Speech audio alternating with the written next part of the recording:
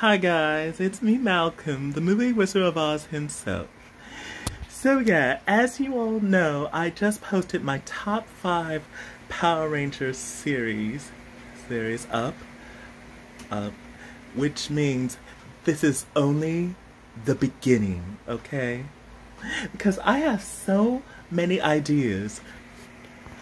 Ideas. I mean, I absolutely love the Power Rangers.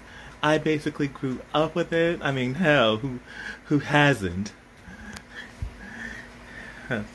So, with that said, I'm gonna, st- uh, for this video, I'll be discussing my, you know what? Let's go crazy. My top 10 Power Ranger members.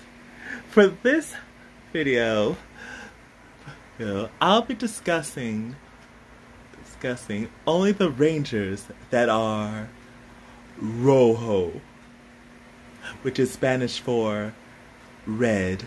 Yes, it's all about red.